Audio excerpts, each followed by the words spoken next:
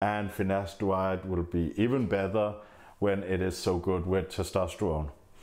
Now, that ain't the case.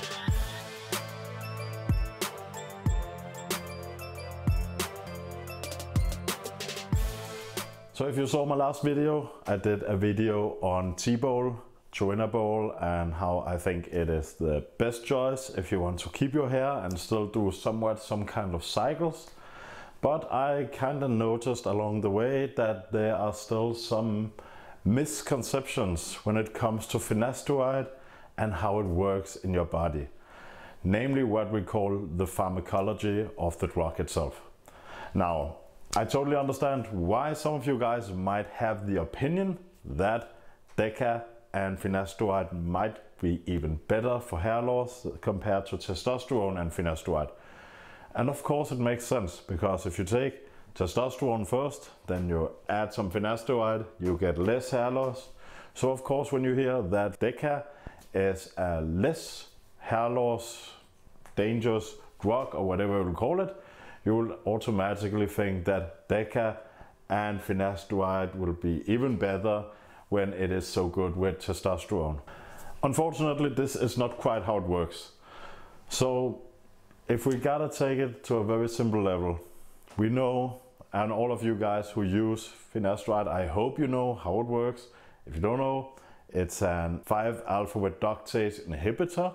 So it removes an enzyme we can call it 5AR from your body.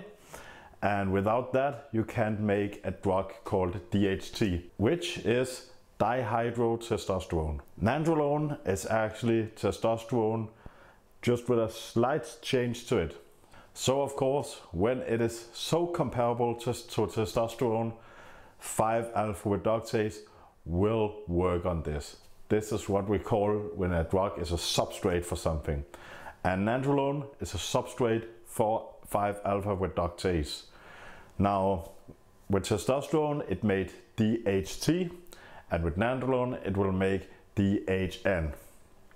Now, when we look at this chart over here, we can actually see that when we use testosterone and add finasteride, we will get a less significant androgenic response. It doesn't mean that if you combine 5-alpha reductase, reductase with any kind of drug, it would get it will get more androgenic.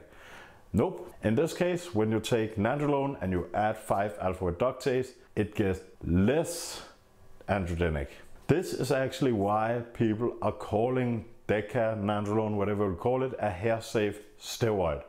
Because when you inject it and it combines with the 5-alpha reductase, it becomes way less androgenic than the parent hormone nandrolone.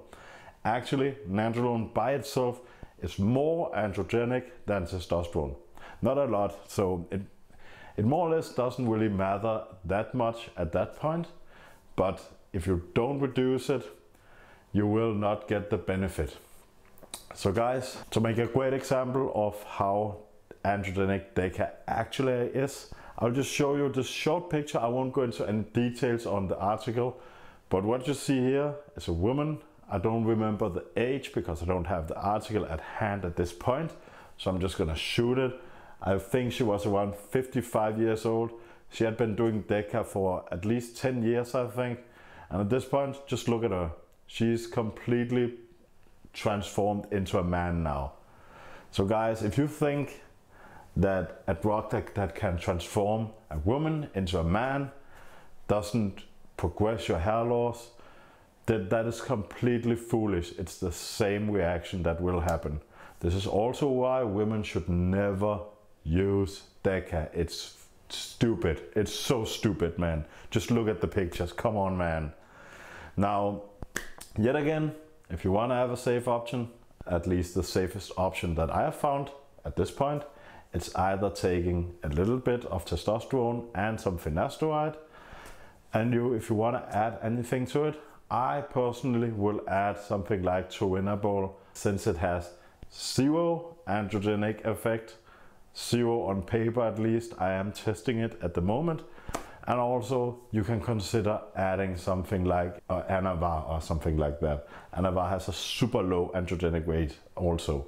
that's all I have for you. I just wanted to clear this mild misconception of how Nandrolone works with finasteride and I hope this has been of any help to some of you guys. You know the drill. If this has been of any use to you, hit the like, comment, subscribe, whatever, keeps me going. Until then, I'll see you next time. Cheers.